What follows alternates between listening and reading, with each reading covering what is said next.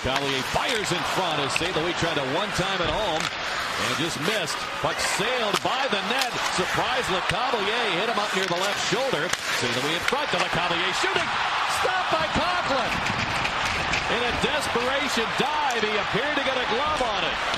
Crossbow to St. Louis over to LeCavalier. Look at he tried to get it right there, and he shot it right in the glove in that desperation dive. And he needed to get that thing higher as he knew it